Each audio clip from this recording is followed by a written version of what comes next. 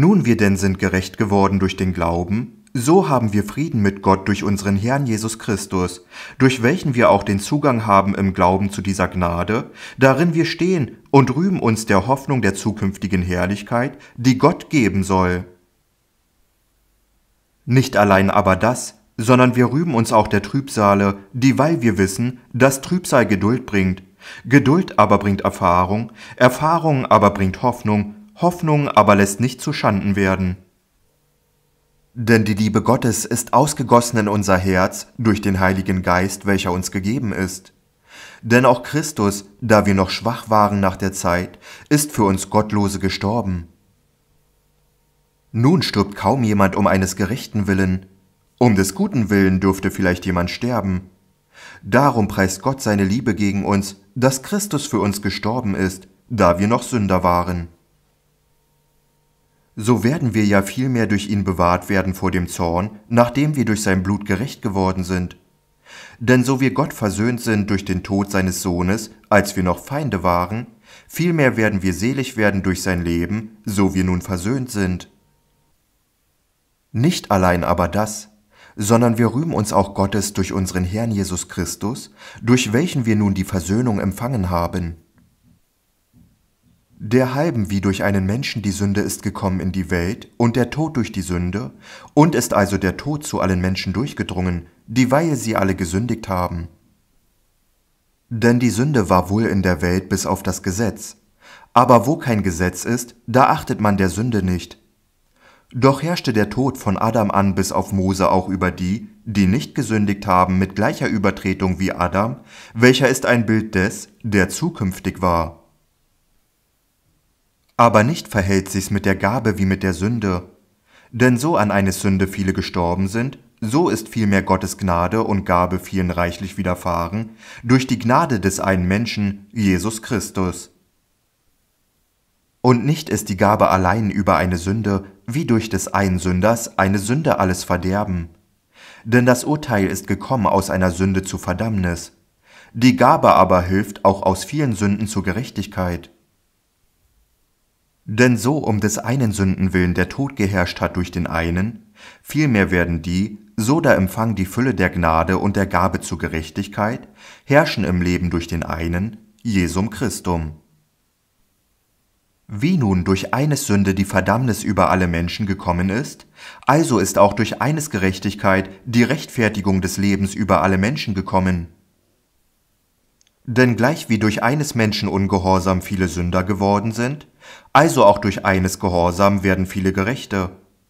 Das Gesetz aber ist nebeneingekommen, auf das die Sünde mächtiger würde. Wo aber die Sünde mächtig geworden ist, da ist doch die Gnade viel mächtiger geworden auf das, gleich wie die Sünde geherrscht hat zum Tode, also auch herrsche die Gnade durch die Gerechtigkeit zum ewigen Leben, durch Jesum Christum, unsern Herrn. Was wollen wir hierzu sagen? Sollen wir denn in der Sünde beharren, auf dass die Gnade desto mächtiger werde? Das sei ferne. Wie sollten wir in der Sünde wollen leben, der wir abgestorben sind? Wisset ihr nicht, dass alle, die wir in Jesum Christum getauft sind, die sind in seinen Tod getauft? So sind wir ja mit ihm begraben durch die Taufe in den Tod, auf das, gleich wie Christus ist auferweckt von den Toten durch die Herrlichkeit des Vaters, also sollen auch wir in einem neuen Leben wandeln. So wir aber samt ihm gepflanzt werden zu gleichem Tode, so werden wir auch seiner Auferstehung gleich sein, dieweil wir wissen, dass unser alter Mensch samt ihm gekreuzigt ist, auf dass der sündliche Leib aufhöre, dass wir hinfort der Sünde nicht dienen. Denn wer gestorben ist, der ist gerechtfertigt von der Sünde. Sind wir aber mit Christo gestorben, so glauben wir, dass wir auch mit ihm leben werden. Und wissen, dass Christus von den Toten erweckt hinfort nicht stirbt, der Tod wird hinfort über ihn nicht herrschen. Denn was er gestorben ist, das ist er der Sünde gestorben zu einem Mal, was er aber lebt, das lebt er Gott. Also auch ihr, haltet euch dafür, dass ihr der Sünde gestorben seid und lebet Gott in Christo Jesu, unserem Herrn. So lasset nun die Sünde nicht herrschen in eurem sterblichen Leibe, ihr Gehorsam zu leisten in seinen Lüsten. Auch begebet nicht der Sünde eure Glieder zu Waffen der Ungerechtigkeit, sondern begebet euch selbst Gott, als die da aus den Toten lebendig sind, und eure Glieder Gott zu Waffen der Gerechtigkeit. Denn die Sünde wird nicht herrschen können über euch, sintemal ihr nicht unter dem Gesetze seid, sondern unter der Gnade.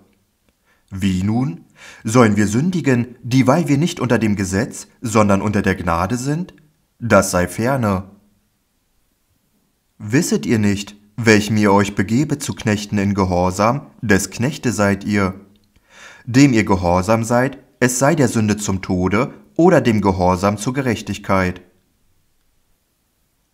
Gott sei aber gedankt, dass ihr Knechte der Sünde gewesen seid, aber nun gehorsam geworden von Herzen dem Vorbilde der Lehre, welchem ihr ergeben seid. Denn nun ihr frei geworden seid von der Sünde, seid ihr Knechte geworden der Gerechtigkeit. Ich muss menschlich davon reden, um der Schwachheit willen eures Fleisches. Gleich wie ihr eure Glieder begeben habt zum Dienst der Unreinigkeit und von einer Ungerechtigkeit zu der anderen, also begebet auch nun eure Glieder zum Dienst der Gerechtigkeit, dass sie heilig werden. Denn da ihr der Sünde Knechte waret, da waret ihr frei von der Gerechtigkeit. Was hattet ihr nun zu der Zeit für Frucht? Welcher ihr euch jetzt schämet, denn ihr Ende ist der Tod. Nun ihr aber seid von der Sünde frei und Gottes Knechte geworden, habt ihr eure Frucht, dass ihr heilig werdet, das Ende aber das ewige Leben. Denn der Tod ist der Sünde Gold, aber die Gabe Gottes ist das ewige Leben in Christo Jesu, unserem Herrn. Die Wahrheit macht frei. Wenn es nicht frei macht, dann ist es der falsche Weg. Wer der Lüge Glauben schenkt, der verliert die Wahrheit und sein Leben. Sei wachsam und lass dich nicht verführen. Gehe den geraden Weg nicht zurück, wenn du zweifelst. Dein Rat ist wertvoller als Gold. Vielen Dank. Bestelle das Fibelheft kostenlos und versandkostenfrei auf fibelzeit.de.